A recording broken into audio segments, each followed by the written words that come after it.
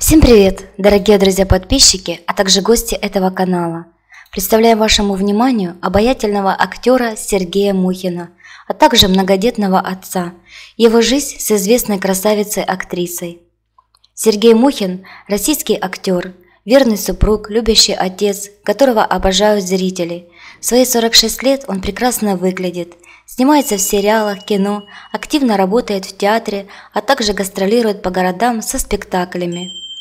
Сергей вместе с женой выступает на сцене и исполняет песни. Жизнь Сергея по-настоящему наполнена. Он старается во всем, работает, проводит время с семьей.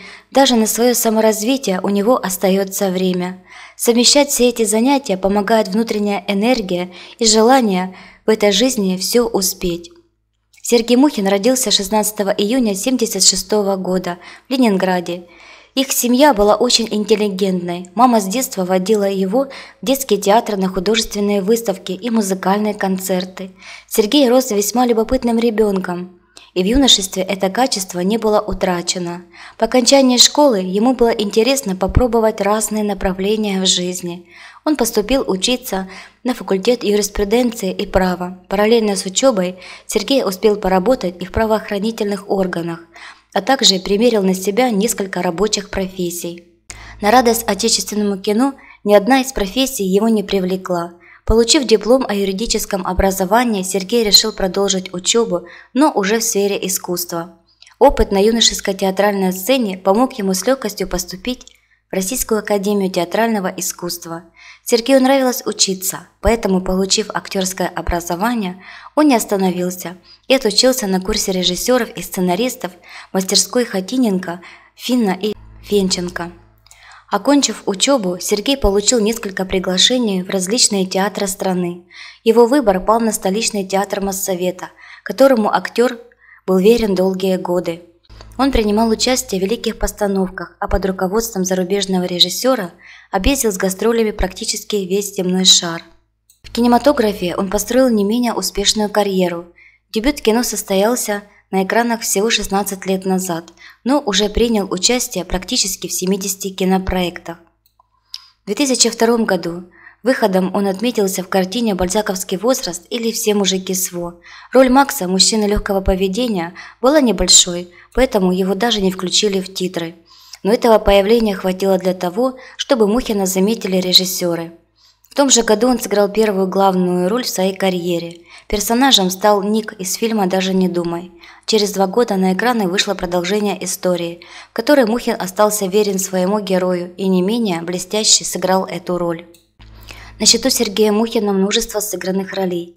Большинство из них стали значимыми, несмотря на второстепенный характер.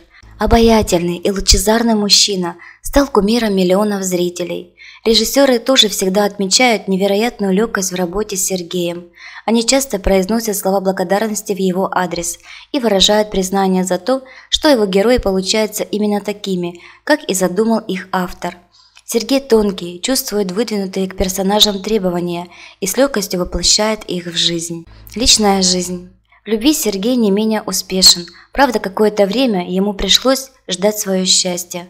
С любимой женщиной он познакомился в тот момент, когда она была замужем и воспитывала сына. Сергей с первого взгляда влюбился в актрису Анастасию Савосину, но не стал предпринимать никаких шагов по сближению, потому что женщина была замужем. А позже их свела судьба снова вместе. Но на радость Сергею Анастасия была уже в разводе.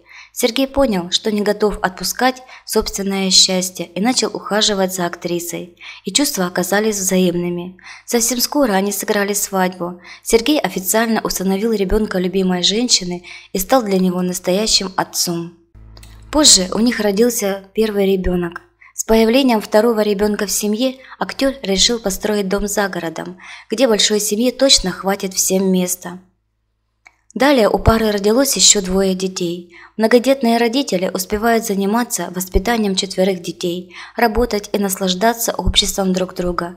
Конечно, жена Сергея добилась тоже немалых успехов в карьере, но так или иначе, она гораздо больше времени посвящает детям и своей семье.